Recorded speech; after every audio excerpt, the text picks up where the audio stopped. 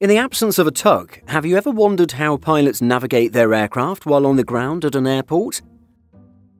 While the aircraft's rudder, slats, and flaps will alter an aircraft's direction in the air, these won't be very effective when moving at a speed of 20 miles per hour.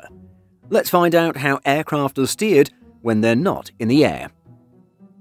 Simply put, with wheels on the ground, an aircraft is steered with what's known as a tiller.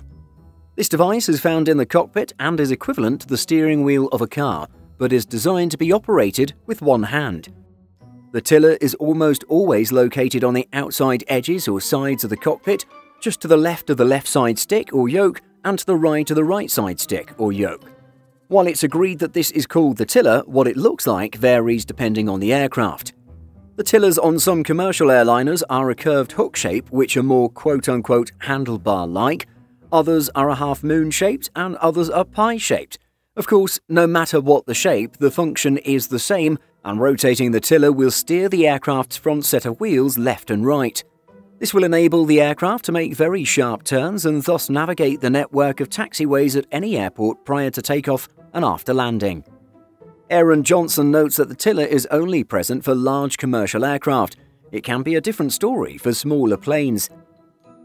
Speaking with the MIT School of Engineering, Johnson says the following In some smaller aircraft, the pilot turns the nose wheel through the rudder pedals, but other smaller aircraft don't have the hardware required to turn their wheels, so they either stay fixed straight or are free swiveling like the ones you see on shopping carts.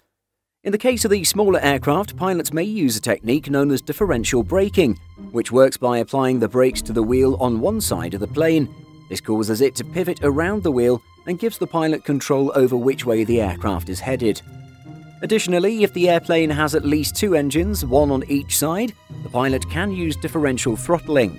This technique adds thrust to the engine on the side opposite the stopped wheel, allowing the airplane to turn even more easily.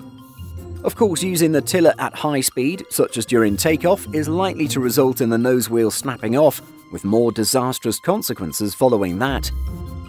When speeding down the runway, any adjustments to aircraft direction, likely to compensate for wind, will be made by adjusting the aircraft's rudder.